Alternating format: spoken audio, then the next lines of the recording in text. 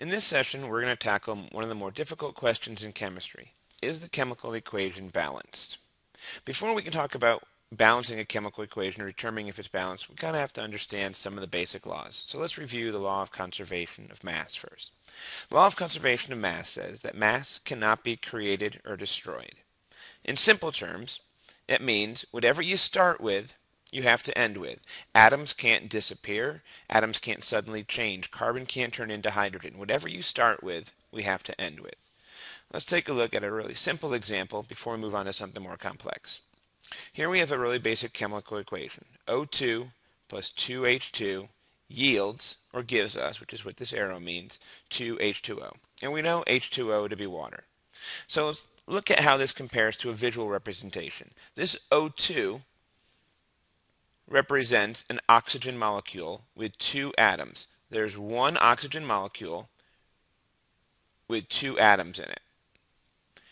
This is a hydrogen molecule, two atoms of hydrogen in each molecule.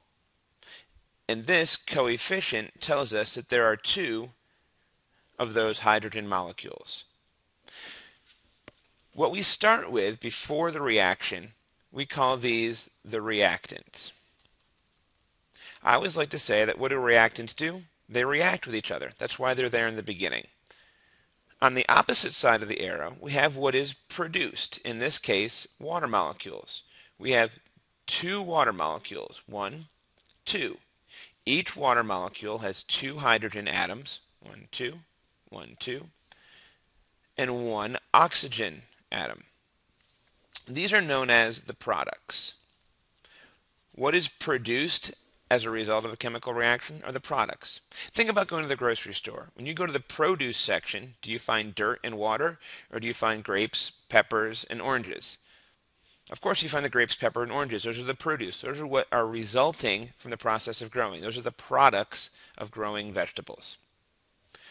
So if we start on this side and we label the elements that we have, we have two different elements, oxygen and hydrogen on this side. So there are two total elements we have two oxygen atoms and 2 times 2 gives us 4 hydrogen atoms. And we can confirm this down here in our visual representation. Now this is going to be too complicated to do once we get into larger molecules, but it certainly helps us in the beginning to make have an understanding.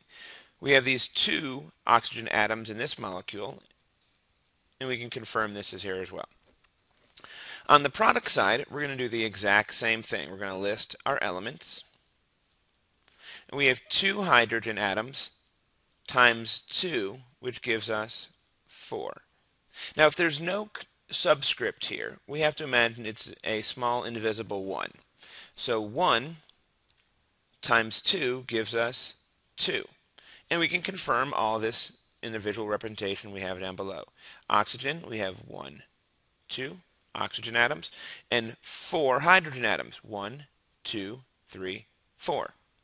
Now the question is, is this equation balanced? Well, whatever we started with, four hydrogen atoms, is what we ended with, four hydrogen atoms. We started with two oxygen atoms, we ended with two oxygen atoms. So since the reactants equals the products, then we can confirm that this is a balanced chemical equation. Balanced equation. A few other questions we might ask you is how many elements are in the reactant? Okay, we have one, two. Whenever I ask you how many elements there are, you need to be able to list them by name. So how many elements are in the reactant? There are two, and we can list them. Hydrogen and oxygen. I could also ask you how many total atoms are in the reactant. We have four atoms of hydrogen. We have two atoms of oxygen for a grand total of six total atoms in the reactant. Lots of different questions we could ask.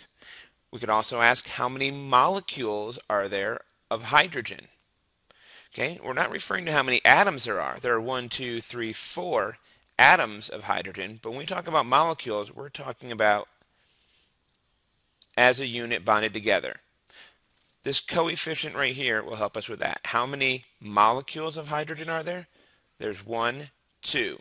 There are two molecules of hydrogen.